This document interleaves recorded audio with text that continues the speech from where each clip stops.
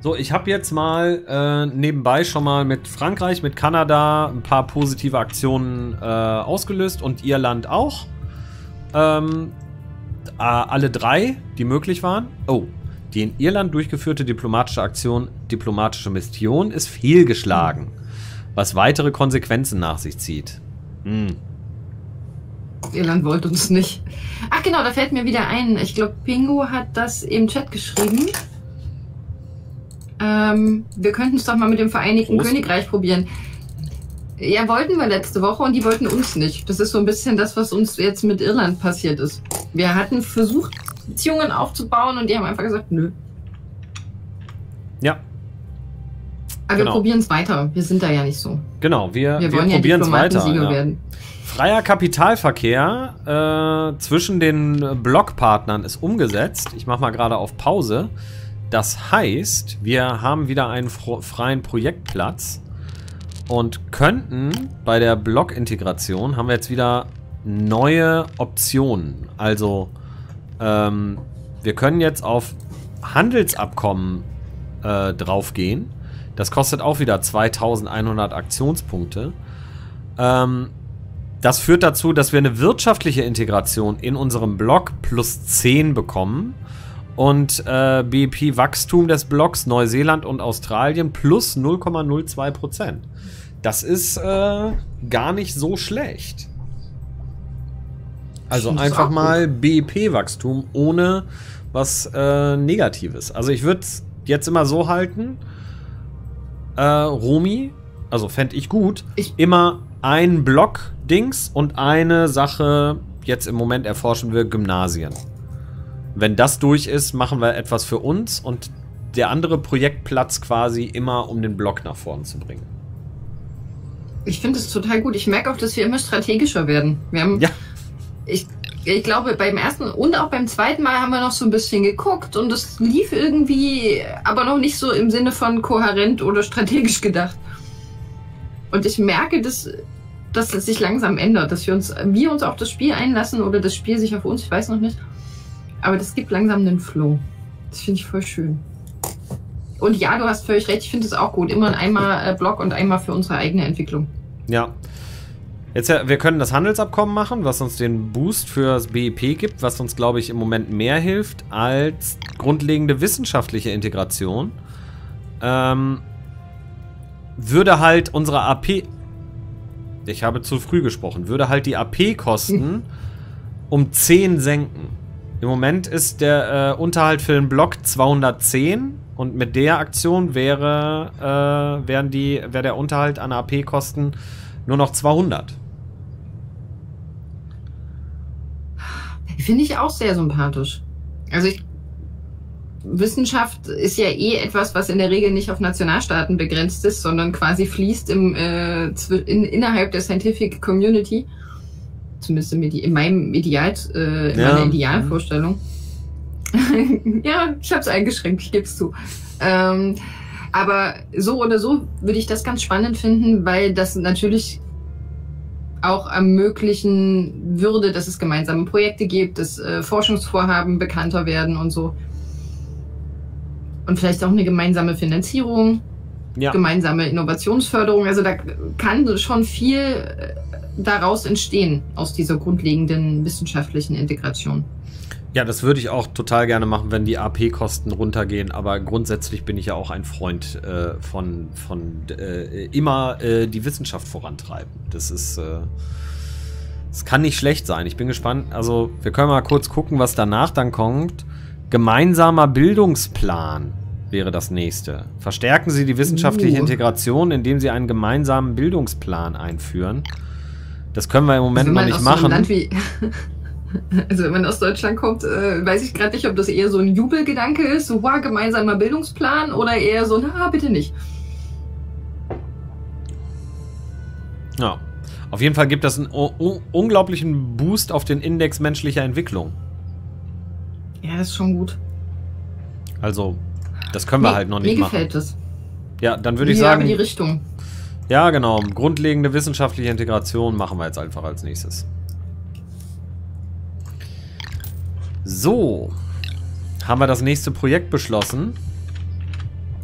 Und das dauert auch gar nicht so lange. 84 Tage. Diplomatische Aktion Wohlwollen erlangen wurde erfolgreich in Irland umgesetzt. Das heißt, wir haben drei Wohlwollenspunkte bei Irland. Immerhin. So, und es ist. Es sind zwei Monate verstrichen und wir müssten. Genau. Wir müssten. Es ist, wie gesagt, Beta-Version, es ist noch nicht alles übersetzt. Wir können jetzt hier um. Äh, ja. Regierungsunterstützung bitten. Und das gibt uns AP-Punkte. Oh. Achso, ja genau. Wir haben nur noch 1300.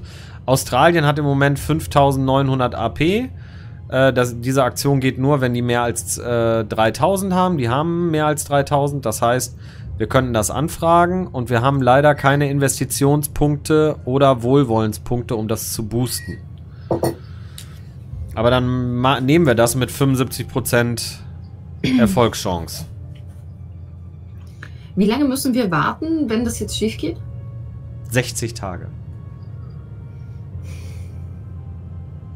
Ach komm. 75% Genau. Und wir müssen auch noch warten, bis wir wieder infrastrukturelle Unterstützung machen können.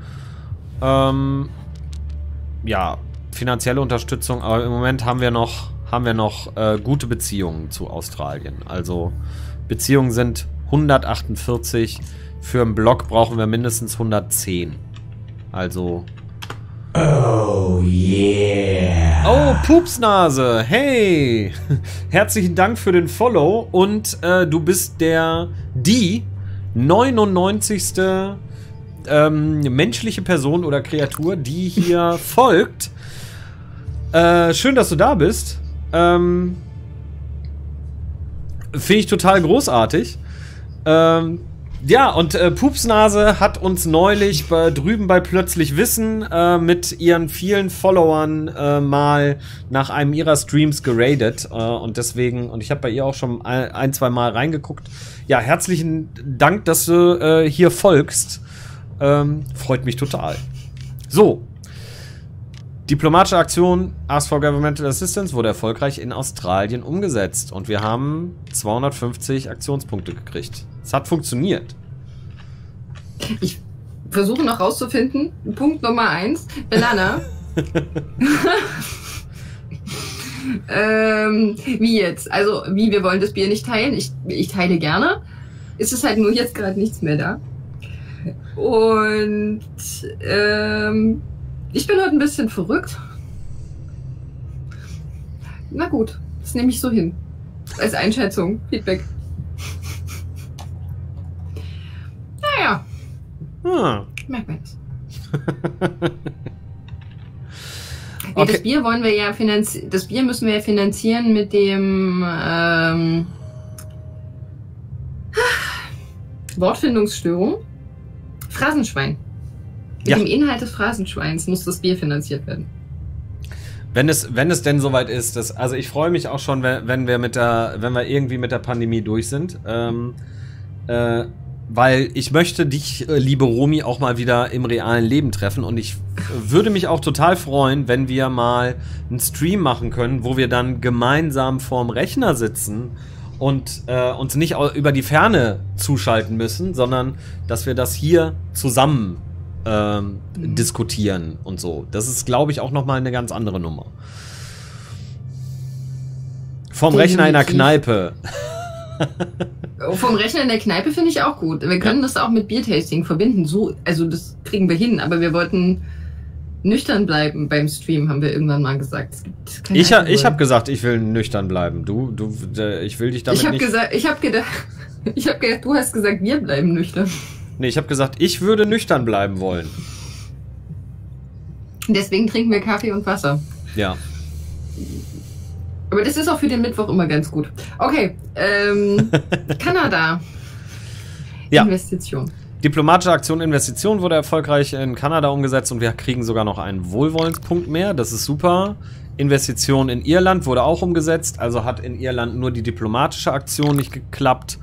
Und diplomatische Aktion Investition wurde in Frankreich umgesetzt. Das ist gut. Wir haben jetzt also zu allen Staaten, die wir uns äh, rausgesucht haben, eigentlich recht positive Beziehungen. Und Irland äh, werden wir demnächst dann mal wieder äh, unsere Beziehungen verbessern. Oh! Äh, Nein. Rohstoffe aufgebraucht. Ui. Die Lagerstätten fossiler Energieträger in unseren Provinzen neigen sich dem Ende. Ich weiß immer noch nicht, wie man Dun, äh, Dunedin ausspricht. Du hast es letztes Mal erzählt und Ähm, Dandin, glaube ich. Dan- Aber jetzt weiß ich es auch nicht mehr. Dandin. Okay. Ja. Also wir haben, äh, wir haben drei Optionen. Fahren wir die Produktion herunter und investieren wir in moderne Bergbauinfrastruktur. Kostet uns 1000 Aktionspunkte, 2500 äh, Geld und Pro Provinz Rohstoffeinnahmen minus 5. Im Moment trifft uns das nicht hart, aber wir sind gerade erst wieder aus den roten Zahlen raus. Fahren wir den Bergbau in dieser Provinz komplett herunter. Fossile Brennstoffe haben ohnehin keine Zukunft. Minus 200 Aktionspunkte, Geld minus 100. Provinz Rohstoffeinnahmen gehen auf 0. Äh. Und extrahiert alles, was ihr kriegen könnt. Danach fahren wir alles herunter. Rohstoffe. Einmal zwei, äh, 250 Metalle. Provinz Rohstoffeinnahmen gehen auf 0. Das kostet uns relativ viel Geld und auch relativ viel AP. Arbeitslosigkeit in Neuseeland geht hoch um plus 0,5. Ist im Moment auf 6,19%. Provinzunzufriedenheit in, äh, geht auf 10%. Ne, sinkt um 10%. Aber wir haben eh 0. Und Provinz Umweltzerstörung plus 35. Heieiei. Tja. Pest oder Cholera oder ähm, Pocken. Mhm.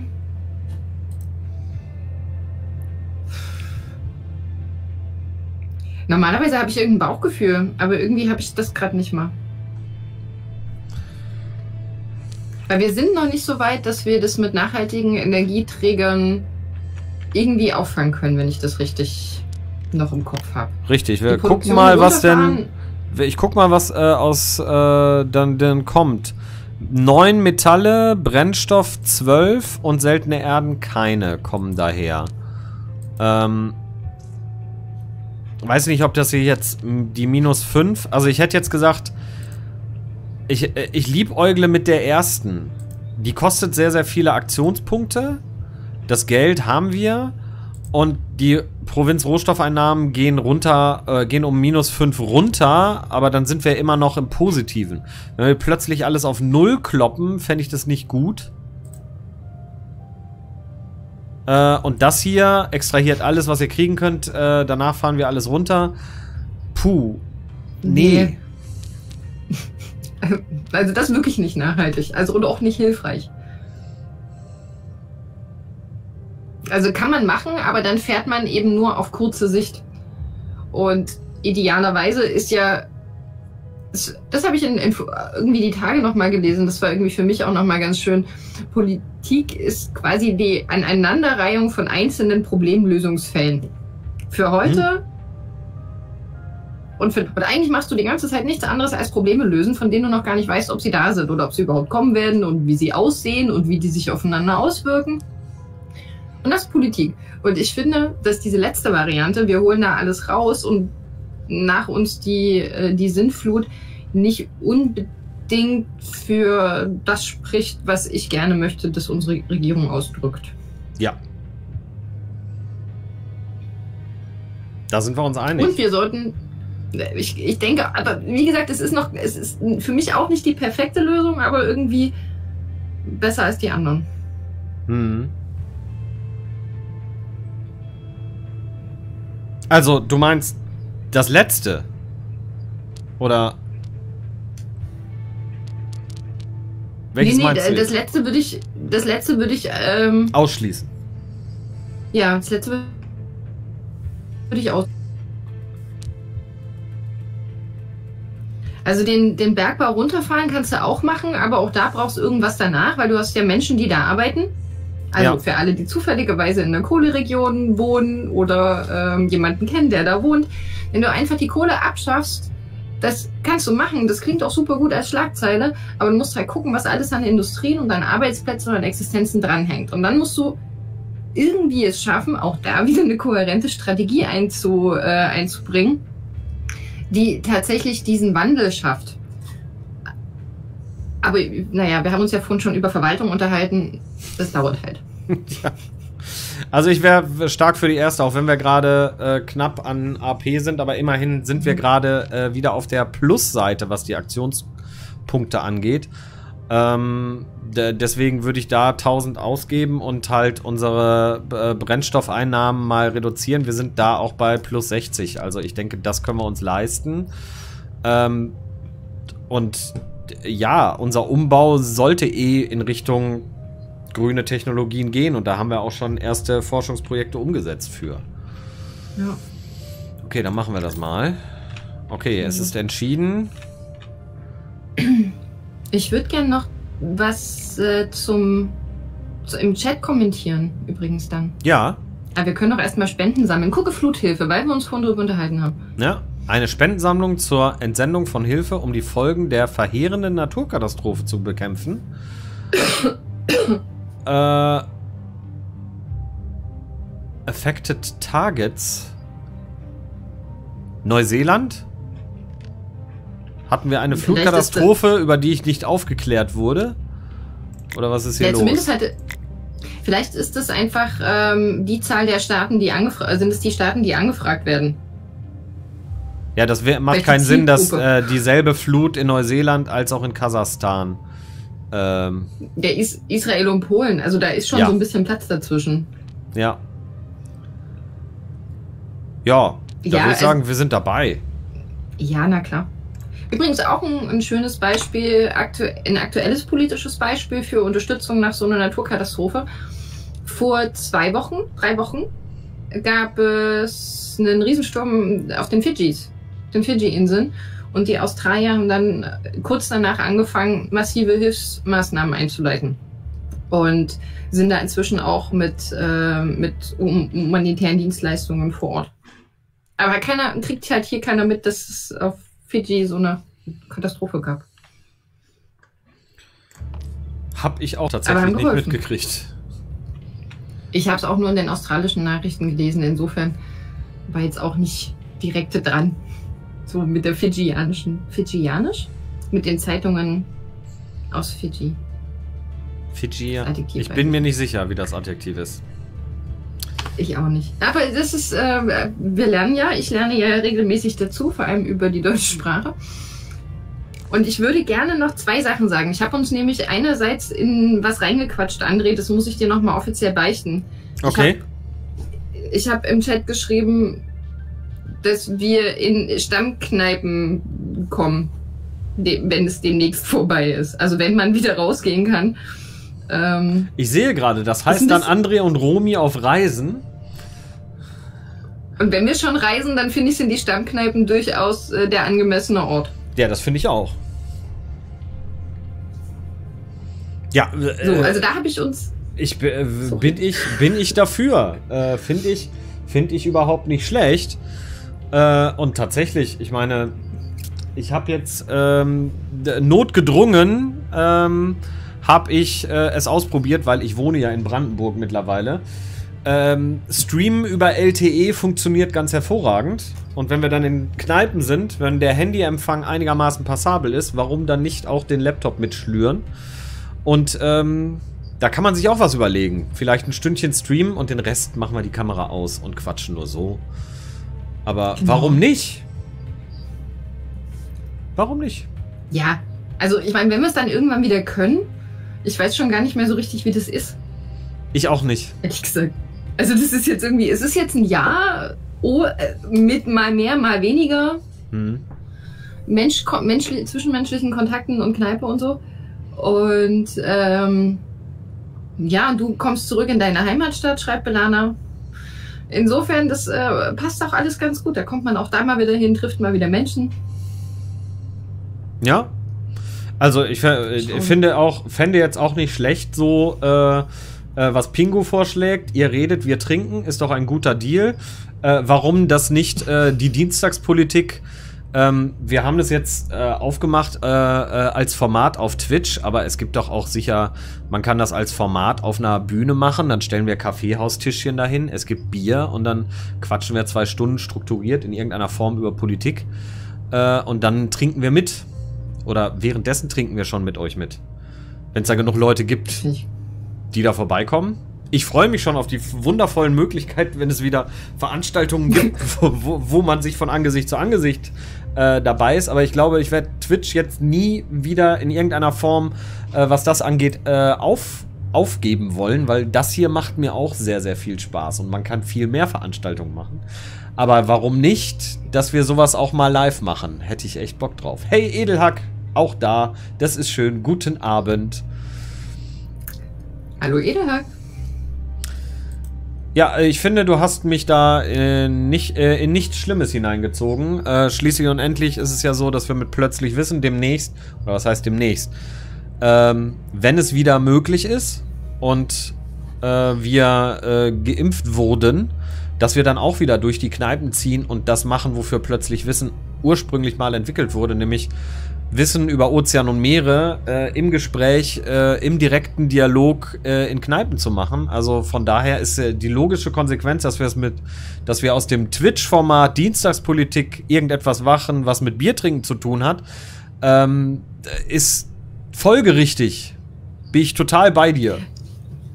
Und dann könnten wir auch noch so ein Special machen, wo ähm, wir die beiden anderen Kolleginnen noch mitnehmen und dann versuchen wir, das Thema Umwelt und Ozeane und äh, Klima und Naturschutz, keine Ahnung, mit Politik zusammenzubringen. Ja, das ähm, äh, tun wir auch schon an ganz, ganz vielen Stellen schon in Plötzlich Wissen. Stimmt. Also. Ich höre euch ja dann immer ähm, einfach, ich höre euch ja dann immer zu. Das ist total schön. Ich gucke gar nicht, was ihr macht, sondern ich habe euch tatsächlich im Ohr hm. und laufe ein bisschen in der Wohnung rum. Also gestern ging es kurz um Tiefseebergbau und das ist jetzt Regelungen, wie es international mit internationalen Gemessern, ein, eine total spannende Frage. Also äh, da, da die, die Politik ist niemals wirklich sehr weit, wenn wir uns über Ozean und Meere äh, unterhalten. Was ist mit den, mit den Tieren, Umweltverschmutzung und so weiter und so fort. Das ist halt, äh, die Politik ist immer ganz schnell, ganz nah um die Ecke. Also, das passt zusammen. So. Ach, so viele neue Ideen, die jetzt hier entstehen. Ja. Ihr seht, wir haben uns zwei Wochen nicht gesehen. Sowas kommt dann dabei raus. Yay! So, jetzt hier, Spendensammlung startet. Die Organisation der Spendensammlung erwartet unseren ersten Beitrag. Wir haben unseren Namen in den Hut geworfen. Es ist also nur fair, dass wir unseren Teil des Abkommens erfüllen. Wenn Sie wollen, dass wir dieses Ereignis für uns äh, wenn Sie wollen, dass wir dieses Ereignis für uns entscheiden, dürfen wir nun keine Ausgaben scheuen, um einen denkwürdigen ersten Eindruck machen zu können. Machen wir das Ding groß für 1000, übertreiben wir es nicht für 500. Bescheidenheit ist eine Tugend, 250. Ähm, hey, niemand hat mir gesagt, dass es so teuer wird.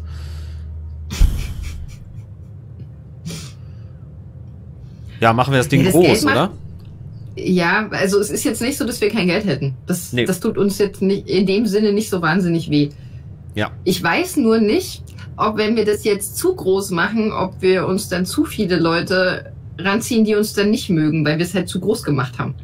So im Sinne von Bescheidenheit ist ja auch eine Tugend. Ja. Also hauen wir eher so auf die Kacke oder ähm, nicht? Ich würde sagen. Es geht um Fluthilfe. Also ja, genau, es geht um Fluthilfe. Das ist jetzt nicht, also da würde ich jetzt sagen, da kann man ruhig mal ein bisschen vorgehen. Ich meine, mit wir sind ein Inselstaat, äh, Empathie und so weiter und so fort. Mhm. Machen wir das Ding groß, oder? Ja, wir machen das groß, ja. Okay. Machen wir es groß. Ähm, und ich sehe gerade, Edelhack hat äh, Kanalpunkte für Physik ausgegeben. Äh, und Romy äh, äh, und äh, die zwei äh, und Horsty hat äh, random Politiklexikon für Romy gezogen. willst du direkt mal, Romy? Seite 42.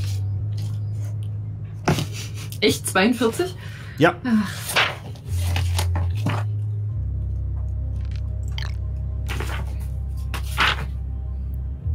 Ich lass mal das Also, Spiel auf langsam Seite- weiterlaufen. Die äh, Seite 42 ist übrigens eine leere Seite, das ist aber vielleicht nicht so schlimm. Ähm, Hossi, wie stehst du denn zu dem grundsätzlichen Thema die Gesellschaft?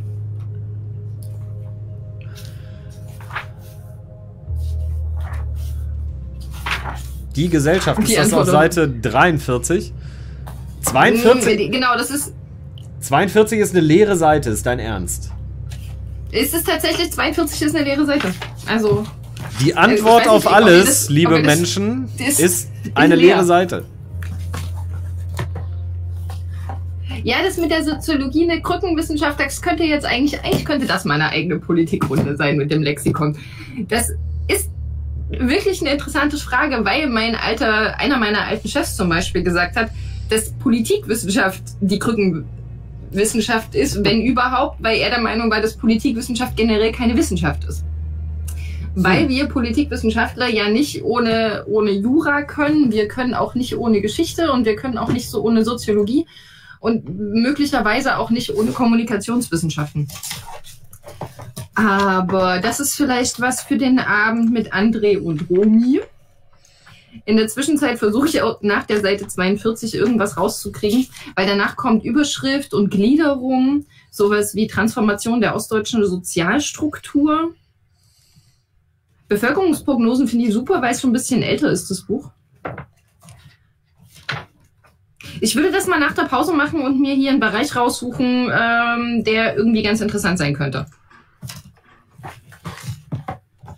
Okay. 42, die Gesellschaft. Ähm, ich finde den Unterpunkt Transformation der ostdeutschen Sozialstruktur recht interessant, insbesondere weil das Buch halt alt ist. Also schon ein bisschen älter. Und ähm, es ganz spannend ist, nochmal drauf zu schauen, wie sich das denn weiter verändert hat. Hm. Nach der Pause gibt es, die ich jetzt einfach so anmoderiert habe und ohne dem, natürlich vorher zu fragen, ob wir eine Pause machen wollen, weißt du? Nee, finde ich gut. Äh, ich brauche auch eine kleine Pinkelpause. Ich habe äh, ganz gut Wasser getrunken und äh, die, de, das Fläschchen ist leer. Da muss äh, wieder äh, ein bisschen Wasser rein. Und da sind wir auch schon wieder. Herzlich willkommen zurück aus der Pause. Und dann würde ich jetzt mal direkt nach der Pause erstmal die äh, Physik einlösen, wofür Kanalpunkte ausgegeben wurden. Ich kann das immer nur wieder betonen. Kanalpunkte kriegt man einfach nur fürs Zugucken. Und mittlerweile hat Horst hier im Chat auch mal geschrieben, es gibt für fünf Minuten Zugucken zehn Kanalpunkte, wenn mich nicht alles täuscht. Ja, ich glaube schon. Äh, und Edelhack hat 300 rausgehauen, damit ich was über Physik erkläre.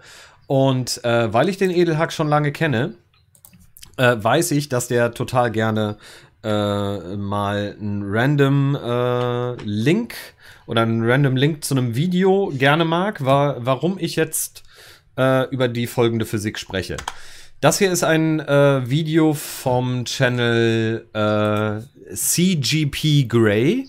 Das ist ein total toller Channel, wie ich finde. Und äh, das Video heißt Hexagons are the bestagons. Das könnt ihr euch später mal angucken. Jetzt vielleicht nicht. Ähm, ich wollte was über Hexagons erzählen, aber nicht zwangsläufig über all das, was in dem Video vorkommt. Das ist total schön gemacht, aber ich wollte über den Hexagon sprechen. Es gibt nämlich einen Wirbelsturm, der heißt Hexagon. Der befindet sich am Nordpol des Saturn.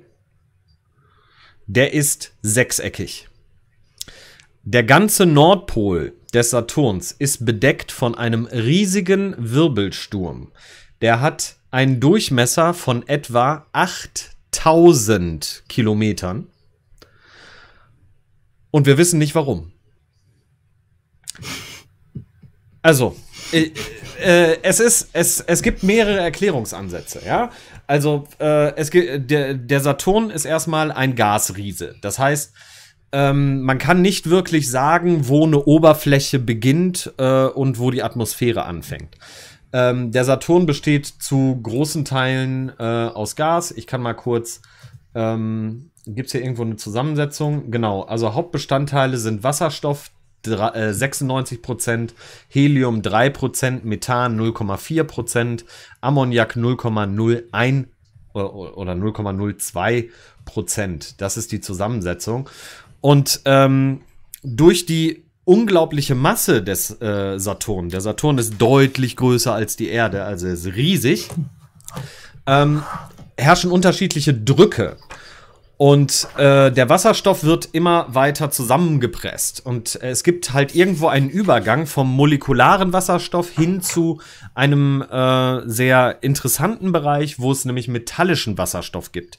Das heißt, dort ist er nicht mehr wirklich ein Gas. Der Druck ist dort so hoch, dass man ähm, quasi Wasserstoff bekommt, und dieser Wasserstoff hat metallische Eigenschaften. Also er leitet auch, kann Magnetfelder erzeugen. Sowohl Jupiter als auch Saturn, die beiden großen Gasriesen in unserem Sonnensystem, haben auch starke magnetische Felder von einem Planeten, die äh, von Planeten, die erstmal größtenteils aus Wasserstoff äh, äh, bestehen, ist das äh, erstmal verwunderlich. Aber wenn man weiß, dass es die Phase metallischen Wasserstoff gibt, dann ist es das plötzlich nicht mehr, weil der kann auch magnetische Eigenschaften besitzen. Es wird vermutet, dass der Saturn einen Kern aus Gestein oder aus Eis hat, aber der metallische Wasserstoff ist jetzt auch nicht mehr wirklich ein Gas. Das heißt, es gibt irgendwie einen fließenden Übergang zwischen Atmosphäre und Oberfläche und man kann nicht wirklich von einem Kern oder von einer Planetenoberfläche reden beim Saturn, sonst würde er auch nicht Gasriese heißen. Und am Nordpol gibt es diesen 8000 Kilometer durchmessenden,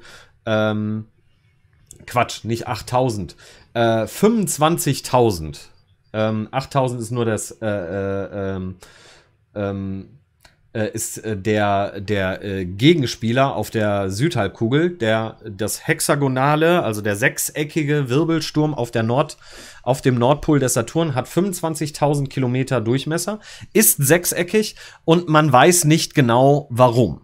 Was auch total spannend ist, auch ähm, äh, weswegen man auch ganz deutlich weiß, dass der Saturn ein Magnetfeld hat, ist, der Saturn hat auch Polarlichter. Das heißt, über diesem riesigen Wirbelsturm, der fünf, sechs Mal größer ist als die Erde, kann man auch Polarlichter in der äh, noch leicht durchsichtigen Atmosphäre, also auf jeden Fall soweit wir gucken können, kann man über dem Saturn äh, ähm, äh, beobachten. Es gibt Ansätze, weswegen man meint, warum der Wirbelsturm sechseckig ist. Aber das ist alles sehr spekulativ. Es hängt wahrscheinlich mit Magnetfeldern zusammen. Man weiß es aber noch nicht. Das ist eins der ungeklärten Rätsel. Ist total abgefahren. Geht mal auf Wikipedia, da gibt es ein Video davon. Ähm, Im Infrarotbereich kann man den äh, Wirbelsturm sehr, sehr gut beobachten. Man muss ihn halt mit Sonden beobachten. Wir können es nicht direkt mit dem Teleskop sehen, weil wir da nicht auf den Nordpol gucken können. Aber das ist meine Physik, die mit hexagonalen Strukturen zu tun hat. Es gibt einen Wirbelsturm in unserem Sonnensystem, der riesengroß ist und sechseckig und auf der Nordhalbkugel des Saturn vorkommt. Und es gibt ein tolles Video und ich hoffe, Edelhack freut sich über den Link.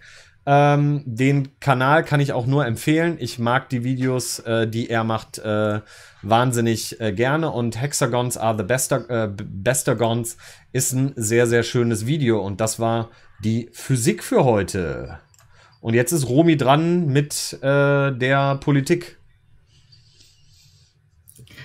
Ähm, nicht bevor ich die Frage von Pingu im Chat noch weitergeleitet, äh, weitergeleitet habe, nämlich ähm, ist denn nicht auch die Sonde Cassini in den Saturn geflogen? Ja, also die, die, Sonde, die Sonde Cassini war gestartet in den späten 90ern, äh, frühe 2000er, irgendwie sowas.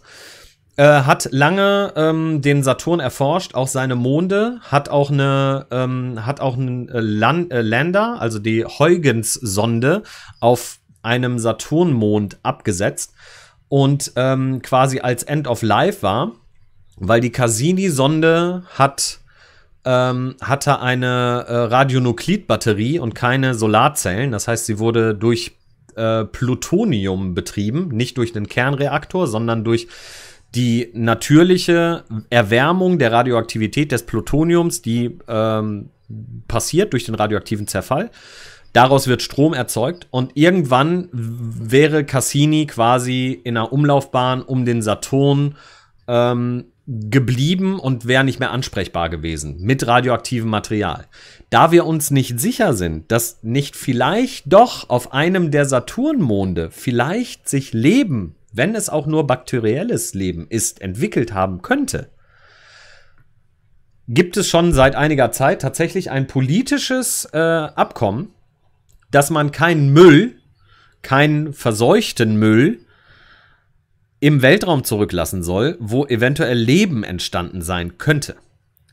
Das heißt, was man gemacht hat, ist, wo man noch weiß, dass Cassini voll funktionsfähig ist, hat man die Umlaufbahn immer näher an den Saturn rangebracht, sodass es das Cassini langsam in die Atmosphäre eingetreten ist. Und man hat quasi die Antenne Richtung Erde gerichtet und hat während des Eintritts in die Atmosphäre versucht, alle möglichen Daten, die man über die Atmosphäre, weil wir hatten noch keine Sonde, die in der Atmosphäre des Saturn war, alle möglichen Daten daraus zu bekommen, aber das Endergebnis war halt, irgendwann ist der äh, Widerstand des Gases in der Saturnatmosphäre so hoch gewesen, dass Cassini verglüht ist.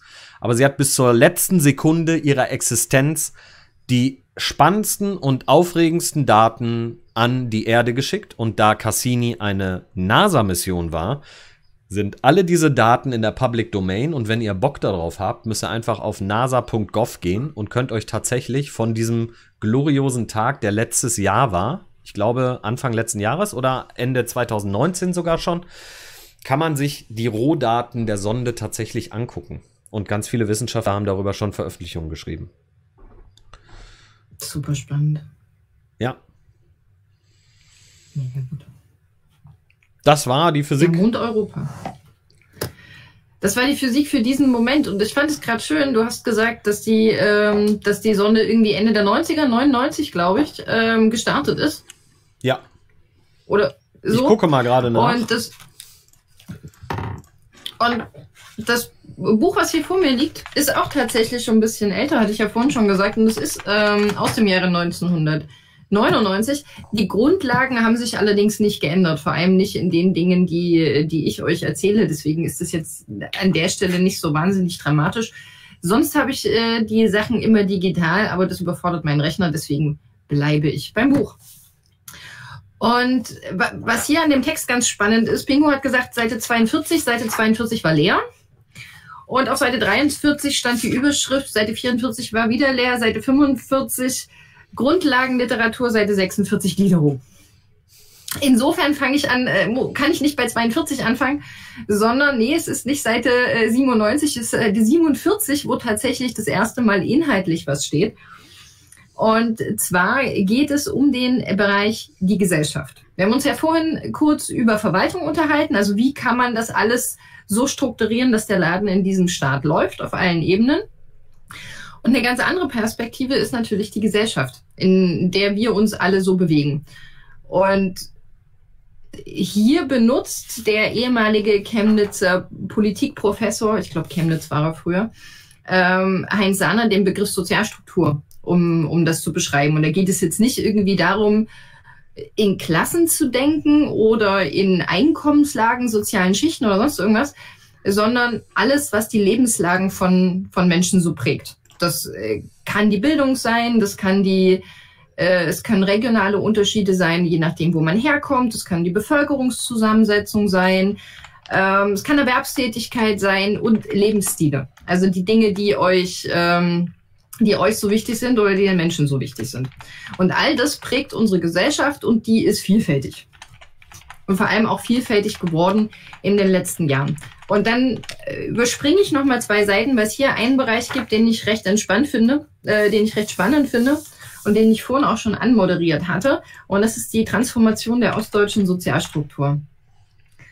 Und ich habe den deswegen rausgesucht, diesen Bereich, weil er erstens zu einem Thema passt, was bei uns auch im Stream immer wieder auftaucht. Also wir kommen immer mal wieder zu so einem Ost-West-Thema oder so, ach verrückt, wie war das denn bei, bei euch, bei dir? Äh, ich glaube, wir haben schon, ich habe meinen Impfausweis, meinen alten schon gezeigt und äh, Rosti hat auch schon lustige Geschichten von damals erzählt.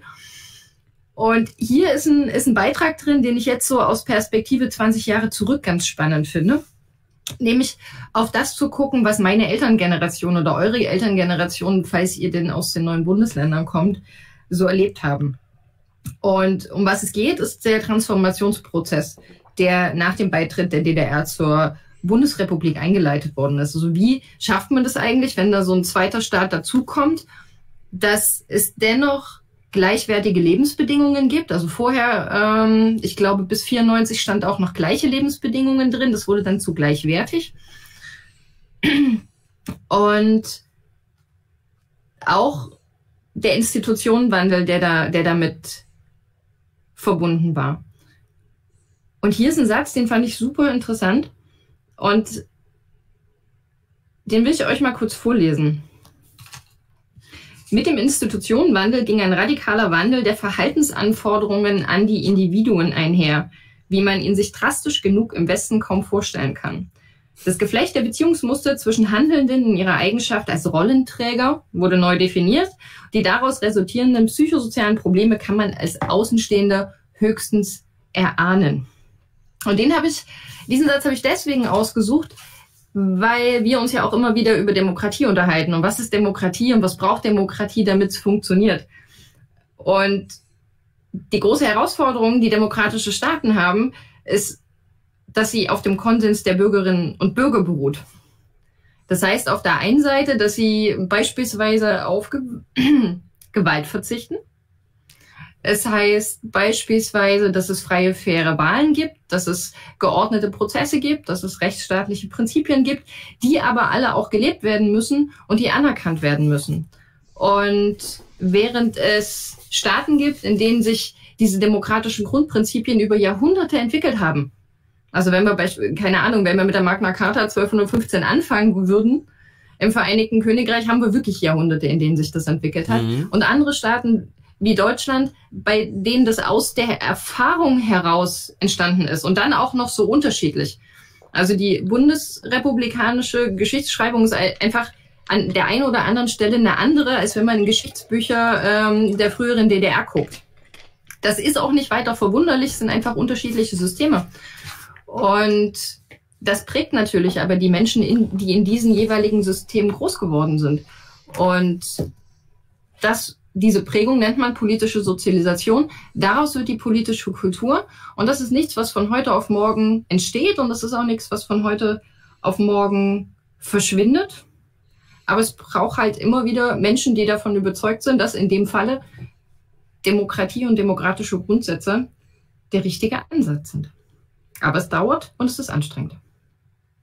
Das hm. war mein random Politiklexikon.